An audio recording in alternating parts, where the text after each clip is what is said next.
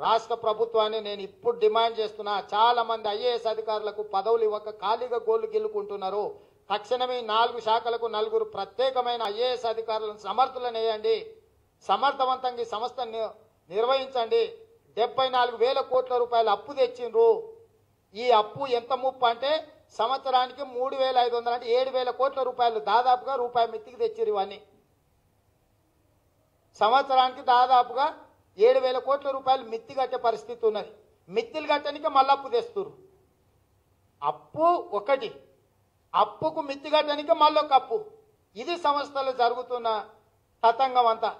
కేవలం భద్రాద్రి ప్రాజెక్టులో ఏడు వేల ఐదు వందల కోట్ల అప్పు తెచ్చిండ్రు. రెండు వేల పదిహేళ్ళ ప్రారంభం కావాలి. రెండు సంవత్సరాలు డిలే అయింది. సంవత్సరానికి నాలుగు వందల కోట్ల రూపాయలు మిత్తి పడుతుంది దాని మీద. అంటే ఈ ఈ రెండు సంవత్సరాల పైన డిలే అవడంతో వెయ్యి కోట్ల రూపాయల మిత్తి కట్టిన ఉత్పత్తి స్టార్ట్ కాకముందే. ఇరవై నాలుగు నెలలల్లో ప్రారంభం కావాల్సిన భద్రాద్రి పవర్ ప్రాజెక్టు నలభై ఎనిమిది నెలలైనా ఉత్పత్తి మొదలవ్వలేదు. దీనికి ప్రభాకర్ రావు లాంటి అసమర్థ అధికారులు ఉండడం వల్లనే ఇది సాధ్యం కావడం లేదు. కానీ అప్పు అయితే ఆగదు కదా. అప్పు ముప్పే కదా. మిత్తి కట్టాల్సిందే కదా. అప్పు ముప్పై మిత్తి తడిసి మోపెడై సంస్థను మొత్తం దివాలా తీయించి ఎవ్రీ మంత్ ఉద్యోగస్తులకు జీతాలు ఎన్నికే లోన్లు తెస్తారు తెలుసా మీకు సంగతి?